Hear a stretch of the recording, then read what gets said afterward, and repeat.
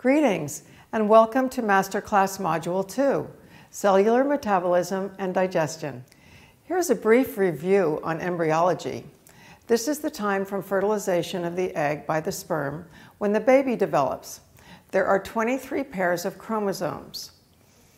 All the cells within the egg become differentiated into three layers the ectoderm, which forms the brain and nervous system, the mesoderm, which forms the muscular skeletal system, the connective tissues, the blood and circulatory system, lymphoid tissue, and the genitourinary tract, and the endoderm, which forms the lining of the gastrointestinal tract, respiratory system, and some endocrine glands. Of course, diet and lifestyle of the mother is very important at this time. I recommend folic acid every day for the formation of the neural tube. Folic acid is found in many foods, but it is often not enough during pregnancy. About 400 micrograms per day is a good supplement amount. Mammal cells differ from plants in that human cells have a membrane, whereas plants and bacteria have cell walls. The cell membrane is semi-permeable, composed of a double layer of phospholipid molecules. The phosphate group faces outside, thus the membrane is hydrophilic or water-loving. And the fatty group is on the inside and is hydrophobic.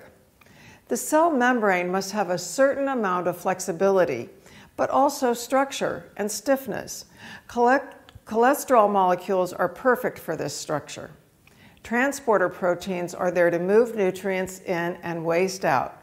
The constituents of all these molecules are phosphatidylcholine, phosphatidylinositol, phosphatidylserine, and phosphatidylethanolamine. It is this structure that makes antibiotic therapy possible. Bacteria have a cell wall instead of a cell membrane, so the healthy immune cells are not affected by an antibiotic but the bacterial wall is destroyed. The cell membrane must be semi-permeable so the nutrients for cell metabolism can get in and the products of cell metabolism can get out. This is all aided, of course, by pumps along the cell membrane itself. It is very important to know that the cell membrane has sodium and potassium on either side of the membrane. This way, the cell can change the outer and inner cellular environments and it's balanced by the movement of the sodium and potassium ions. The cellular structure includes the cytoplasm, which is a lattice-like structure outside the nucleus. It contains ribosomes, fluid, and supports and controls the movement of the other contents within the cell. Organelles are subcellular structures within the cytoplasm. They carry out specific metabolic functions. The nucleus is the largest. The nucleus is the major organelle in every cell. It contains chromatin or chromosomes. Chromosomes are structures in the nucleus made up of proteins containing DNA, which direct all life. This is the double helix. Genes are located on the DNA. They are the specific instructions uh, needed to build a protein. Proteins come together to build cells, which come together to build tissues, which come together to build the organs. What's in the cytoplasm? There is a rough endoplasmic reticulum. This is an intracellular folded membrane. This is where protein synthesis takes place. Also within the cytoplasm, there is a smooth endoplasmic reticulum. This is a folded membrane specializing in the synthesis of lipid-based compounds such as sex hormones. Lysosomes break down waste products in the catabolic process. Mitochondria are the energy producing centers where we find the Krebs cycle. The Golgi apparatus are tubular membranes to secrete substances from the cell into the body, such as hormones, sweat, and tears. In this amazing little factory called the cell, all metabolism takes place. It's the sum total of all biochemical and electrical processes that go on in living cells. When the body is requiring vitamins and enzymes or amino acids, the cell builds or synthesizes the necessary molecules. The cells uses energy from glucose and amino acid or lipids to accomplish this. This is called an anabolic process. When the cell breaks glucose, glycerol, fatty acids, or amino acids down into carbon, hydrogen, oxygen, and nitrogen, or other elements, it's called catabolism. Balance is an important word in nutrition and in all natural medicine. Balance means homeostasis. When the body is in balance or homeostasis, there is acid alkaline balance a healthy body temperature, there is equilibrium between anabolic and catabolic activity, a balance between sodium and potassium electrolytes. There is a continuous supply of fuel to make energy, and there is an accurate balance between hormones and neurotransmitters to communicate with all the body's cells. There are usually many questions about acid and alkaline. The measure of pH is the relative measure of hydrogen ions. The blood pH is about 7.4, and our bodies are very efficient at maintaining this pH. Yes, it does take more energy to try to move hydrogen and hydroxyl ions around to make this balance. So you are benefited by eating more alkaline or close to 7.4. There is a list in the blog that tells exactly what foods are more closely alkaline. But if you look at the little food preparation guide, the whole grains are most neutral, and things such as sugar and meat are more acidic. You can do as much as you can to eat healthy, and usually it will be easier on your body to keep a pH of 7.4. By the way, the pH of the stomach has a range of about 1.5 to 4.8. It is very acidic environment and it has to be that way for digestion. We will go into this in more detail shortly.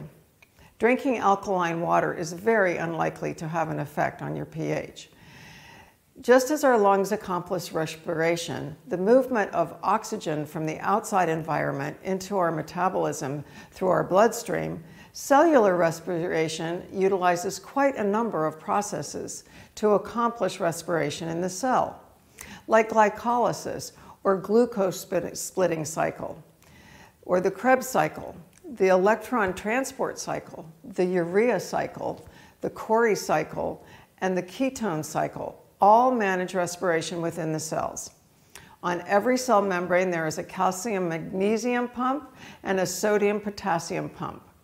This is a schematic way that we can see how all these are interdependent in short, the oxidation of nutrients and waste products and the release of waste products by these cycles result in ATP, which is equal to energy.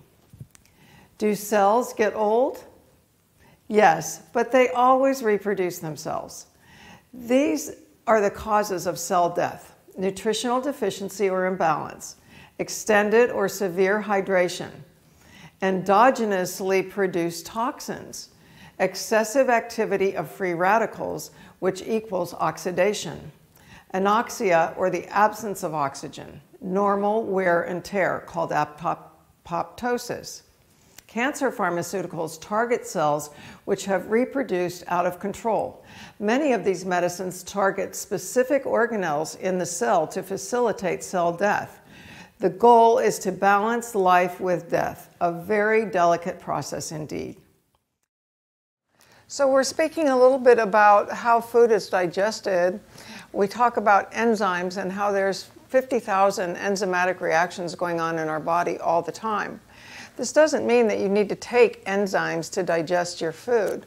When you're chewing your food in your mouth, amylase is re- released in your saliva, and this enzyme starts the the breakdown of carbohydrates in your mouth.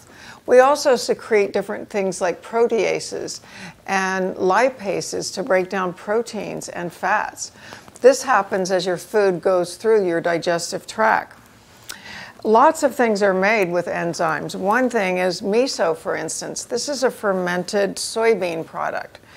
And um, it's a good demonstration of how enzymes work because this started as a bean that was cooked and then adding some um, catalase, something like an enzyme. It works on the proteins in the bean, which is the substrate. And it's like a lock and key. That little enzyme just opens those proteins to be semi digested and turned into this nice, creamy soup base that makes a, a soup that's both nutritious and vital for our health. So we're just going to use a little bit of bone broth and put some veggies to cook with the bone broth and a little bit of seaweed to add flavor and lots of nutrients. We'll cook that, and when it's cooked, we'll add some of this fermented soybean miso. And this will be a good way for your digestion to be activated as you warm your palate and enzymes start to be released in the eating process. Another great way to make sure that your food is digested with enzymes is to chew very well. Lots of foods don't taste good when you chew very well.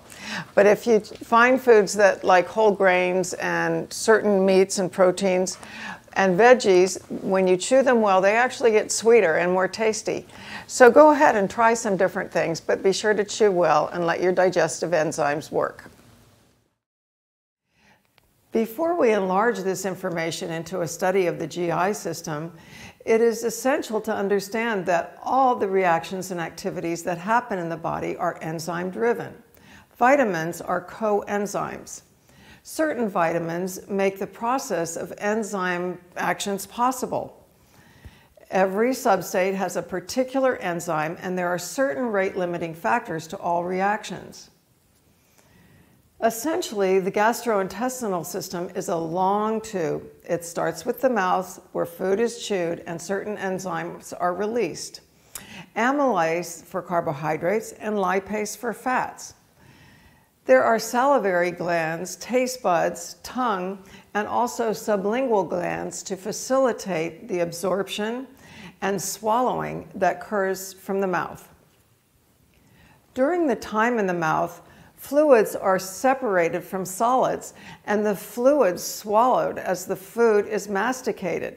It is important to chew well, 30 to 50 times per bite. Oral pathologies include thrush or candida, periodontal disease, tooth decay and loss, halitosis, bleeding gums, loss of tooth enamel, temporal mandibular malfunctions, tartar, stroke, aspiration pneumonia, aphthous ulcers, and herpes 1. These nutrients may help offset oral diseases. Vitamin B complex, vitamin C, vitamin D, zinc, calcium, phosphorus, magnesium, boron, silica, and L-lysine. The most important discipline you can have is good dental health habits, flossing and brushing every day. When the food is swallowed, it's called a bolus. The bolus movement is facilitated by the epiglottis, the swallowing reflex, the esophageal sphincter, and the cardiac sphincter. Goblet epithelial cells secrete a mucus that helps move the products of digestion through the tube. The enzymes that were, released from the chewing process continue to help digesting the bolus as it goes through the esophagus. In the stomach, the bolus enters as chyme. The stomach is full of hydrochloric acid, which makes for a very low pH. Pepsin, gastrin, lipase, renin, and lactase, intrinsic factors, secretin, and cholecystokinin, as well as the muscles, are all important in the stomach.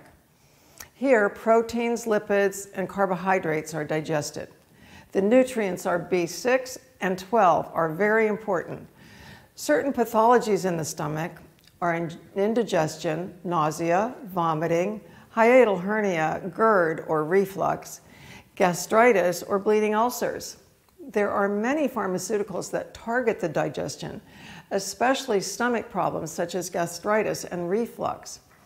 Proton pump inhibitors may help buffer the acidity in the stomach for a period of time, Unfortunately, they interfere with every other proton pump in the body. Use prescription drugs for short periods of times, two weeks at the most, and in that time, adjust the diet so that the affected tissues will be healthier. Make changes in your diet by removing spicy, fatty, and greasy foods and carbonated beverages. A little apple cider vinegar may help. Often stomach, the stomach doesn't have enough acid. Other healing modalities have a lot of information and a lot of wisdom. In traditional Chinese medicine, they call the gastrointestinal system the jiao, specifically the middle jiao, or the area of transportation and transformation. These ideas are related to the spleen and stomach. Primarily, the spleen is related to transportation and transformation. Everything is changed and moved by its workings. And the stomach is called the sea of grain and water. Essentially, these activities are considered to make blood and vitality. The spleen has an energetic suctioning effect and prevents food from falling downward. The earth requires fire and water, and so does the spleen. So it's best to eat cooked foods like brown rice, sorghum, chestnut, pumpkin, lamb, and millet. It is also good wisdom to know that the spleen is affected by overthinking. So, thinking about your diet and all the details of your food can have a counterproductive effect. In the small intestine, the acid chyme from the stomach passes through the pyloric sphincter, and when the duodenum, it triggers the pancreas to release bicarbonate. This starts to alkalize the digestion and emulsification of fats. Water and oil don't mix, so this is where the fat particles are broken down into smaller and smaller molecules. Peristalsis moves the chyme through the duodenum, which secretes the hormone cholecystokinin, then to the jejunum, and then the ileum. Note that the pancreas supports the breakdown of lipids. Without good pancreatic health, you'll end up with greasy, smelly stools that may float. This is a sign of pancreatic inflammation and malabsorption. In the small intestine, trypsin and chymotrypsin trypsin from the pancreas break down protein. Lipase from the pancreas breaks down the lipids, and the fat in the chyme communicates to cholecystokinin and secretin, which gives a satiation signal to the brain. Amylase breaks down the carbohydrates, and steapsin, erepsin, and lactase work to break down milk for children. Many people lose this lactase as they grow older, and many people are born without the gene to make lactase. The brain also receives messages from the fat cells when they secrete leptin. This message can be blocked by high fructose corn syrup. That's why eating foods made with that particular fructose molecule, now known as fruit syrup, and various other names, rarely fill you up and keep you coming back for more. The small intestine lining has features that increase the surface area for absorption. You can imagine 32 feet of folds and microvilli that move things through. That's a lot of surface area for absorption. There are also blood vessels and lymph and cells that produce hormones and enzymes. This is called the brush border. In the small intestines, there are patches along the small intestines called the enteric nervous system. Small intestines are so underappreciated, especially when you realize that 90% of the serotonin that your body needs as the feel good molecule is made in your small intestines by the enteric nervous system. The other 10% of the serotonin is carried on platelets throughout your body. I think it's important to consider the environment of the small intestine as having a significant influence on the production of serotonin. In traditional Chinese medicine, the small intestine is considered a paired organ with the heart. It's understandable that in Chinese medicine, the heart is considered to be the mind. And with the way the serotonin is produced in the small intestine, the connection is apparent. The small intestine disorders that could affect our overall health are dysbiosis or an intestinal flora imbalance. There's also leaky gut, duodenal ulcers, candidiasis, Crohn's, and celiac disease, parasites, and worms. And for people who have had bariatric surgery, difficulties with the absorption of certain nutrients. Imbalance of the small intestine can also be evident with the intestinal gas and bloating. There can be ileocecal valve dysfunction. The ileocecal valve pain is an area that is often mistaken for appendicitis and vice versa.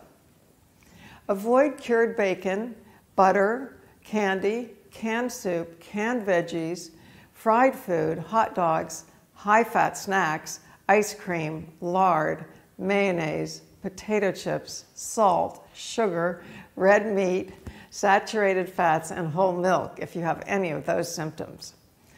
The sodium nitrites and nitrates in deli meats is particularly difficult on the absorption from the small intestine because it causes free radicals, which cause oxidation and putrefaction of the protein foods.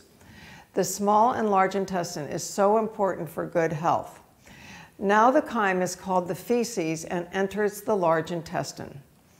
It's moved along the large intestine by fiber and water as well as peristaltic action. Vitamin K is synthesized in the colon. Waste is eliminated through the rectum to the anus. Water and nutrients continue to be absorbed and is especially important to have fiber to continue to move things along. Disorders of the large intestine include diverticulosis or weakness of the muscle layer, which is usually occurs in the sigmoid area, usually aggravated by nuts and seeds. Inflammatory bowel disease, the best way to avoid this is to avoid refined carbs, lactose, caffeine, alcohol, high fat foods, sorbitol, spicy foods, and fructose that will help you avoid those problems as well as stricture of the bowel, ulceration of the bowel, diarrhea, constipation, colostomies, and ileostomies, and hemorrhoids. So, speaking of digestion, there's quite a number of aspects to keep your digestive tract healthy. Um, one of the things that we spoke about was having fermented foods, good, healthy fermented foods.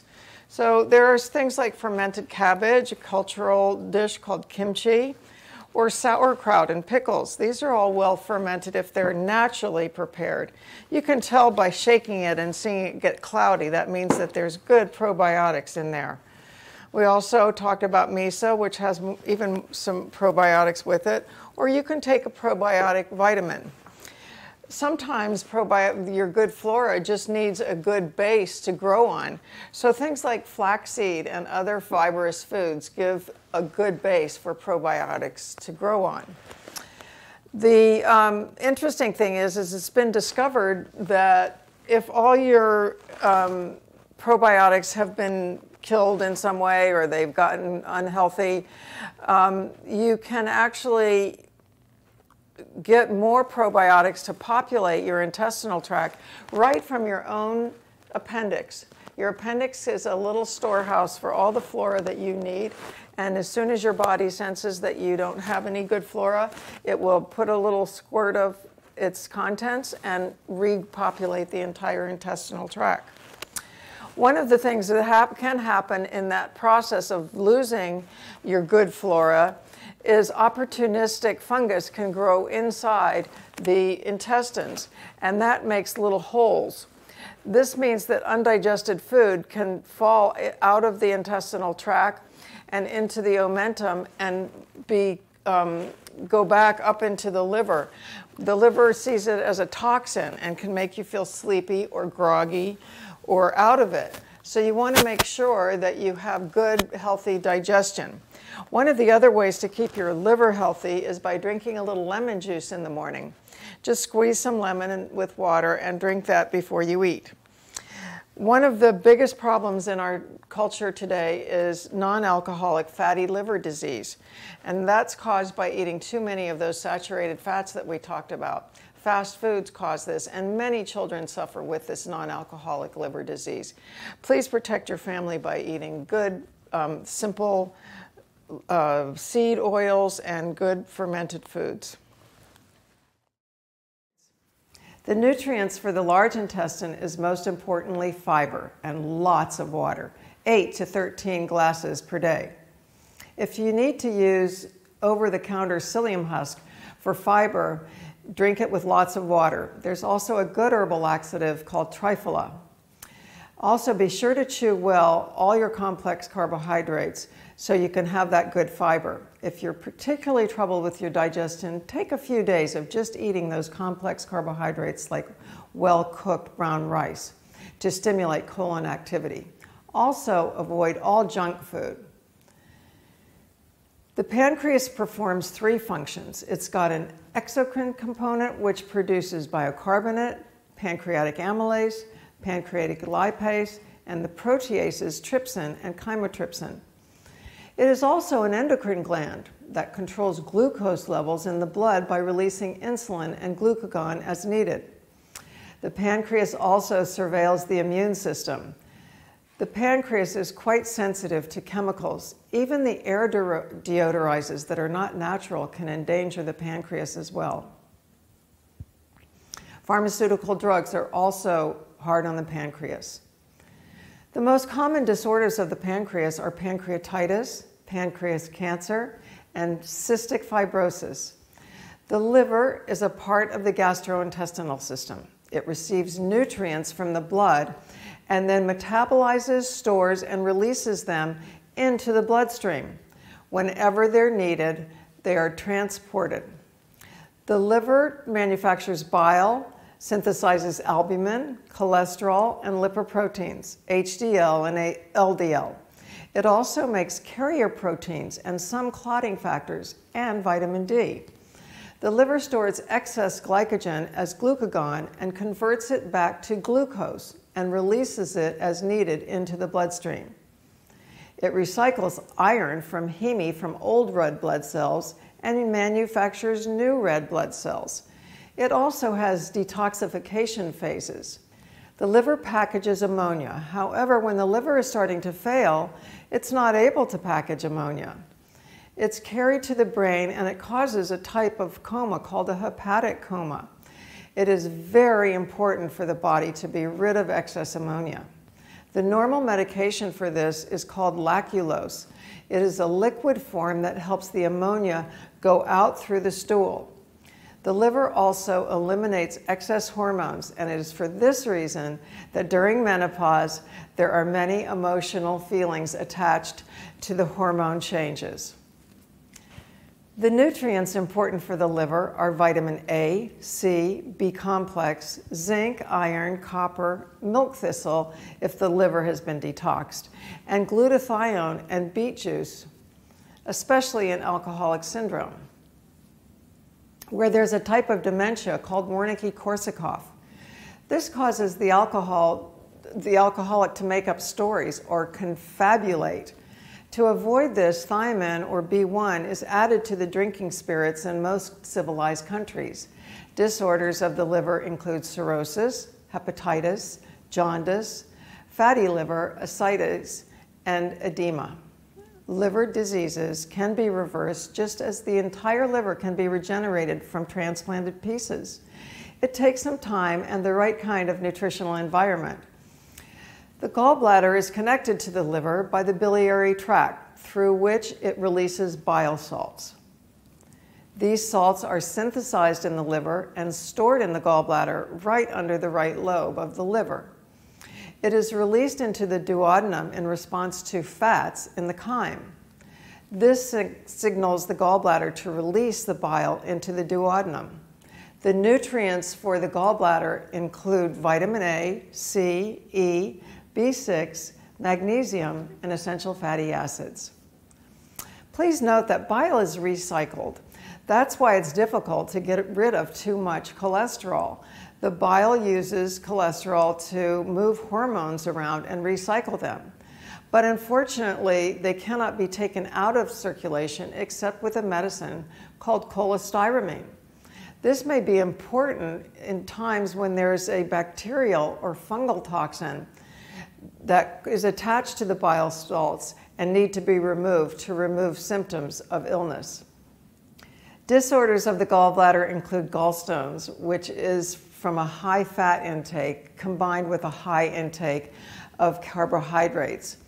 This disrupts the body's calcium metabolism and may start the formation of stones. Stones are made up of cholesterol and calcium. Suddenly stopping a low fat diet may also trigger the formation of gallstones and a gallstone attack.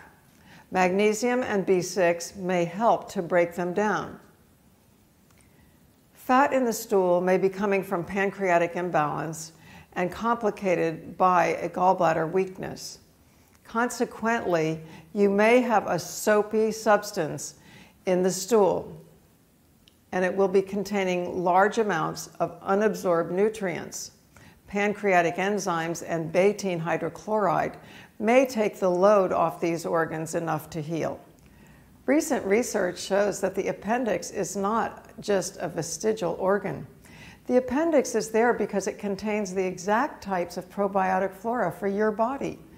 And in case of some problem where your probiotics, your flora and fauna, have been eliminated, say by an antibiotic, the appendix will give a little squeeze and secrete just the right amount of new probiotic so that your body can reproduce and keep a healthy intestinal tract. Currently, there's an increase in small intestinal bacteria overgrowth. Nutrients are being lost as absorption is impaired. A breath test can be diagnostic. A good approach is a natural antibiotic like tricycline. A tip from this module, in short, is an apple a day keeps the doctor away. Not only do apples contain fiber, but it also has B2 for hair and nails. And malic acid helps to control the gallbladder's disposition to make gallstones. And last but not least, the peel of a good organic apple is extremely nutrient rich and even can protect you from the carcinogenic effects of cooked meat. Thank you, and I look forward to sharing Module 3, the immune system, with you soon.